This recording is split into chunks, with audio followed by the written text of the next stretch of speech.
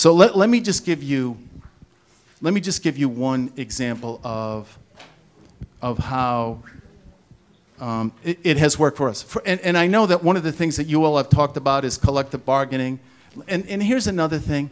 If, if people are put in positions not based on their talent and the quality of their work, but on seniority, then th- there's no way you're improving. You're not going to get better that way, right? So shame on those places that are still allowing that to happen. So we, um, for, with the uh, support of the school committee and, and in collaboration with the teachers union, we make sure that we have people in leadership positions based on talent, not on seniority. So here's just one quick example. And Tony can talk about content leaders and that sort of thing. Um, we uh, established this initiative called Thinking Maps, right? And, and, and a, lot of our, a lot of our work starts as a pilot. So we have um, some, it was actually a parent who actually brought it to my attention when I was the assistant superintendent. She said, Bob, you gotta like consider implementing this in your school. It's, thinking maps are these, they're eight maps. They're actually, they're, they're, you know, you've all familiar with graphic organizers, but, but thinking maps, there are only eight. And there is a thinking map for, um, there is a map that accommodates a number of, of tasks. So there may be a, a, a word that um, triggers um, a student's, a task that a student's supposed to complete. So for example, if, it's, if a student is asked to, asked to summarize, then one of these maps is used to summarize. Uh, there is a map for comparing and contrasting. But anyway, there are a number of vocabulary words that trigger the use of a map. There are only eight.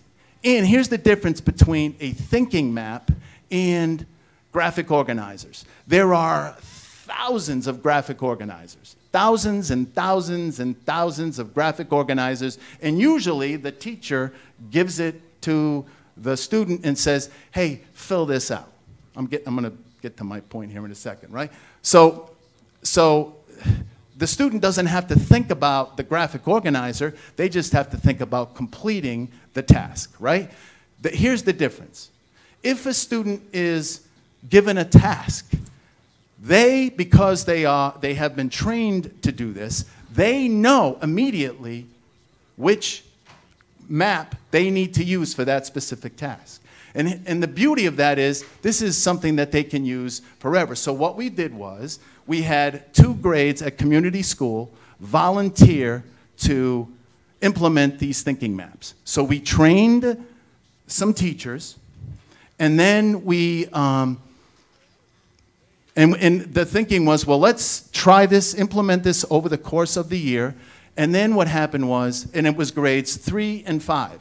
And then what happened was, the second grade teacher said, hey, we want to do that too.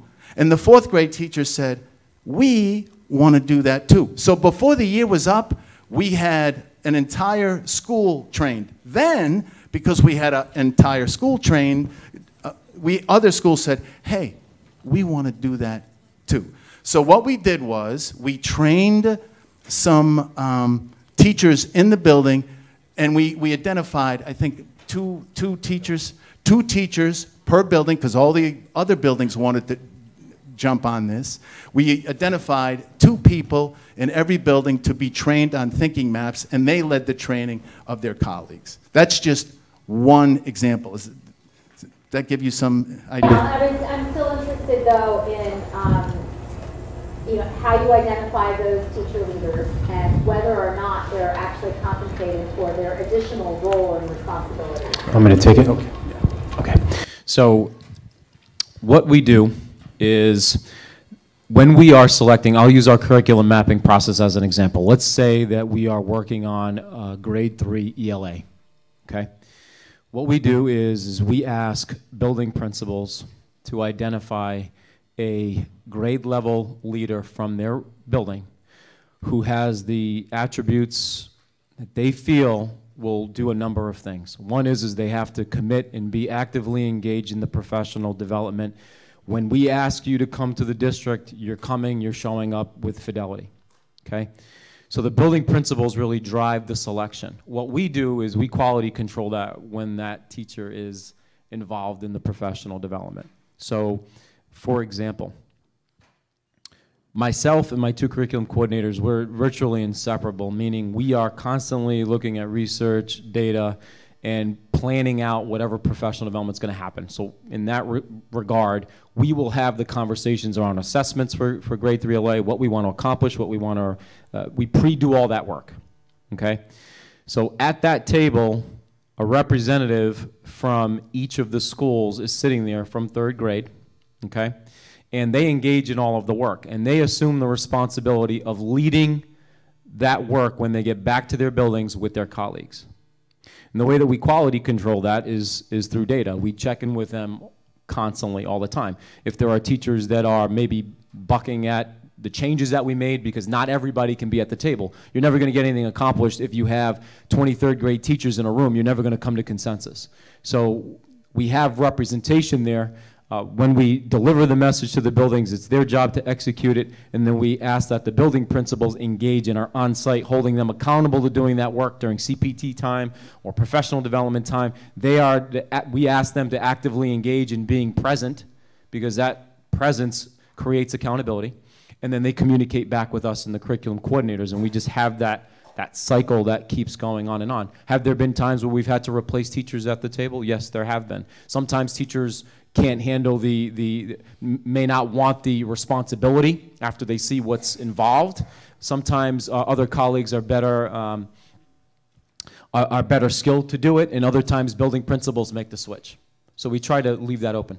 So we, we use the summer, and we pay them the contractual rate, right? So, um, and it requires some planning because there is a finite amount of money to get that done. So to specifically answer your question, like, a lot of times we'll ask for volunteers, and it really is heartwarming to see how many teachers want to volunteer to be a part of this.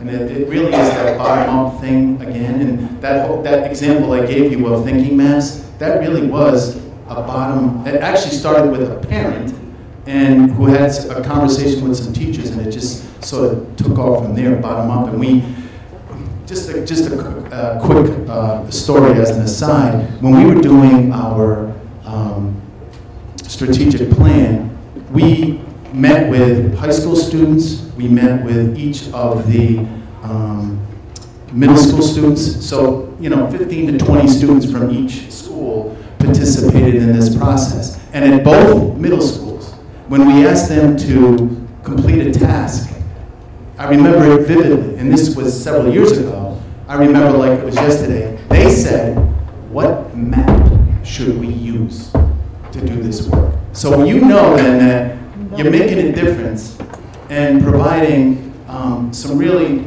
um, helpful learning tools to students when they, you know, just, uh, you know, instinctively discuss with one another what map they're going to use to complete that particular task. Yes, Lori?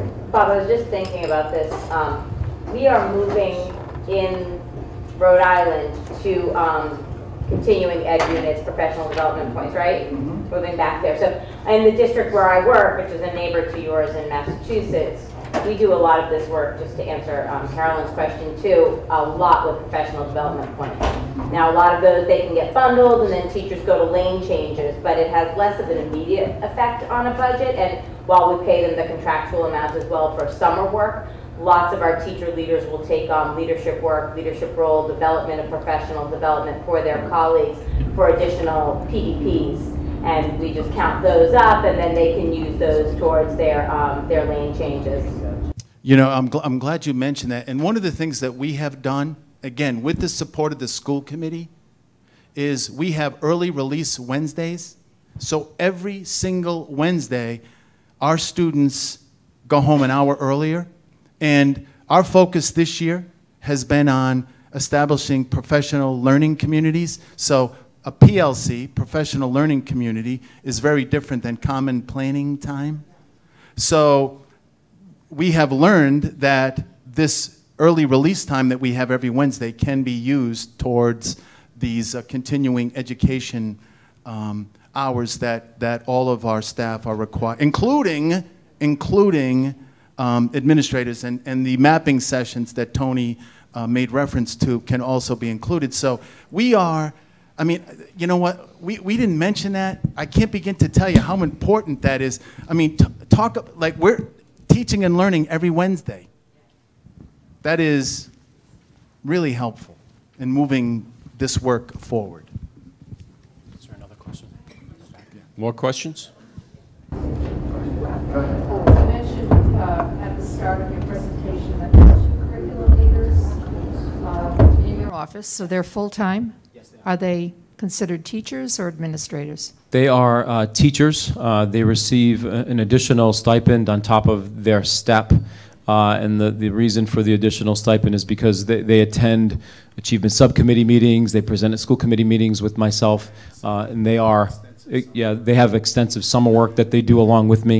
So uh, they receive their step plus a a stipend. Right, They're, they're probably underpaid. And you have curriculum leaders within the schools, too? Do you have a, yeah, So we, um, at the middle school level, uh, we have content leaders. At the high school level, we have content leaders.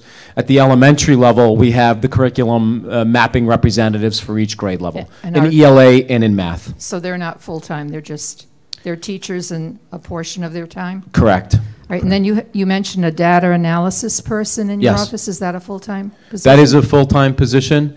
Uh, That is a, a position that does not, uh, is not funded through uh, our general fund. Uh, We use uh, CRP uh, monies um, for that position, and the vision behind that was really how, I constantly ask myself this question, because principals are burdened with so many things, how can we create ways to support principals' work within the, with their, within their respective buildings and generate data for them so that they can be more responsive in their buildings, and how can they help me be more responsive to patterns of data across the district? So that's, that was the breadth of that position. So is that a person with a teaching background? It is. In the uh, evening, uh, for one hour, and there are a variety of agenda items depending on something that we may want to present and make them aware of, something that may, like if we're going to purchase a new curricular piece, or there may be things that we want to bring to the Achievement Subcommittee before it goes to fiscal. Uh, So we try to follow a chain of command so that we inform as many people as possible of what's going on. All right, I- so, so you I- have three school committee members, yourself, Correct. and, The two curriculum coordinators. My, my, um, my data coordinator, and Yep. typically at times our, my uh, ELL coordinator attends. okay, does that trigger OMA? I'm sorry? Does that trigger OMA Yes, compliance? yes, yes. It's an open, it- they- they are. Yes. And, and just so that you know, like, there are three members of the Achievement Subcommittee. I would say ninety percent of the time, most of the school committee members show up to those meetings. I show up to ninety-nine point nine percent unless, of, of those meetings, unless there, I have some sort of a conflict. So they're um, really uh, interesting um, meetings focused on data and, and improving student achievement. There, I mean, I, that is, I mean, if there's one thing that you might want to, I, I don't know if you're doing that in, in your districts, uh, that is, I think, a really helpful thing that you all can consider doing. It holds everyone accountable, keeps everyone focused, and, you know, our administrators need to be ready to present if need be. If this, if the achievement subcommittee, you know, wants um, information or wants to know how things are going in a specific school, then people have to be ready. Keeps you on your, to all of us on our toes in a good way. Quick question, we welcome to monitor one of yours? Of course. It's an open meeting. Of Yeah, course. it's an open meeting. You, you Yeah. certainly have, the they're, Of course. they're, every, it's usually the second and fourth, second, It's, it's the Tuesday before the second and fourth Thursday. s- the- it- the- the- the- our meeting, our meetings are, right. So we, we- our school committee meetings are second and fourth Thursdays. The, the, we have our subcommittee meetings, and we have policy sub, achievement sub, and fiscal sub. We, those meetings are scheduled, um, the, the Tuesday and Thursday, the, the Tuesday before the, um, the school committee meetings. Paul? I just, I just want to say, Had said most of the school committee members come to Achievement, even though we may not be on it. We get a lot of information about the schools, what's happening in the middle schools. Mr. DeMonter and his team give us detailed presentations of what they need, what's happening, how the kids are moving. And from there, we generate a plan for fiscal because he'll say, I need three more interventionists for the middle schools. I think this year it's four.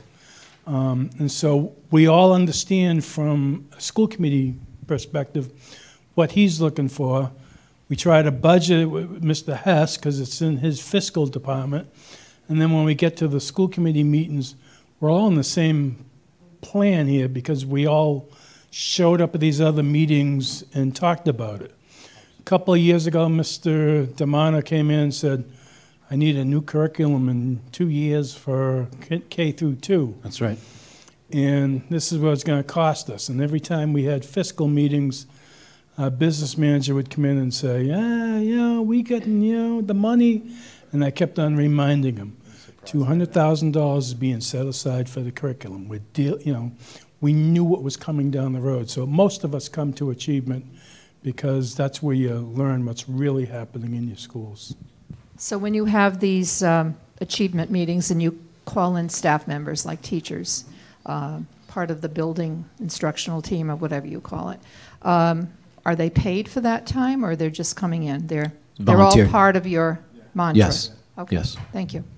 And I, I, if I could make one, one uh, statement, I, I believe very strongly in the curriculum coordinator model. Um, the reason why I advocated for the model is because curriculum work is extensive, it is laborsome, it spans grade levels, it is extremely deep work. Interpreting standards is very complex. It's not something that you can do superficially. And you need people driving that work every day. And you need to have those conversations and have those people doing that work all the time so that you continue to have momentum. Because the second you take the foot off the pedal, uh, in education, it's hard to re-get that engine started again. So uh, that's, that's our approach, and I believe in it. You know, I, I, you know, I, I wanted to mention one really important thing. And this is going to sound crazy, I think, but I believe it's the truth. Our teachers know the standards because we spend so much time working with them on the standards. Tony and his team are locked in on um, grade level standards, and all of the work that we do, uh, our, our uh, assessments are all connected in some way to what students are expected to know to gain grade level proficiency. So here is my question to you. Are you sure that your teachers who are preparing students to um, be proficient on the Common Core standards, are you teaching what is being assessed? Are your teachers teaching to the standards? That's a really important question. So you should be able to walk up to teachers and say, you know, what standards are you working on? And, and if they can't answer that question, then you have some work to do. There, I, I believe that the single biggest, there's a lot of reasons why we've jumped from where we were to where we are now, is because we have, we're locked in on standards, and report cards are aligned to standards. We have standards-based report cards, which was talk about fighting a battle.